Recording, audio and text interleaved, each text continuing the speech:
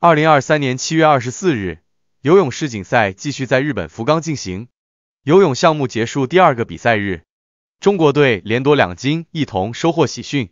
男子一百米蛙泳谭海洋，女子一百米蝶泳张雨霏夺金，女子两百米混合泳于依婷摘铜。美国选手道格拉斯和沃尔什包揽冠亚军，这也是美国队在本届世锦赛的首金。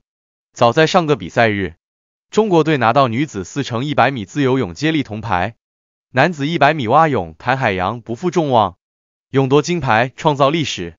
这是中国队首次夺得该项目世界冠军。谭海洋多次刷新亚洲纪录，游出世界第二的好成绩，追赶英国名将亚当皮蒂。随着谭海洋崛起，混合泳接力值得期待。同样再创佳绩的还有张雨霏，就在女子一百米蝶泳决赛。张雨霏最后五米反超对手，击败奥运冠军加拿大名将麦克尼尔和卫冕冠军美国名将胡斯克，职业生涯首次夺得世锦赛金牌。从谭海洋到张雨霏，两人的出色表现带来惊喜。接下来还有别的项目可以争取，值得大家期待。另外，女子两百米混合泳也有好消息，于依婷发挥稳定，为中国队拿到一枚铜牌，这是她首枚世锦赛奖牌。美国名将道格拉斯夺金，另一位美国选手沃尔什获得银牌。道格拉斯为美国队拿到首冠。男子五十米蝶泳，意大利名将切孔夺冠。他还在男子一百米仰泳排名第一，晋级决赛。值得一提的是，中国队还有两位选手晋级决赛。男子一百米仰泳，徐嘉余排名第二，有所保留，仅次于切孔。女子一百米仰泳，万乐天排名第七。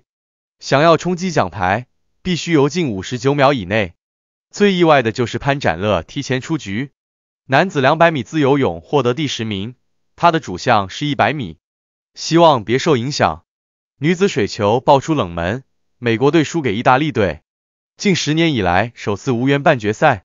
冲金点失手，水球一直是美国队的优势项目，这次的表现远不如预期，连奖牌都没有拿到。中国队十八比十战胜东道主日本队，最终获得第十三名。中国队在该项目竞争力有限，但以前也有过辉煌的成就。最新一期的排名公布，中国队十七金五银六铜第一，澳大利亚队五金两银一铜第二，日本队四金一银四铜第三，美国队一金七银六铜暂列第七。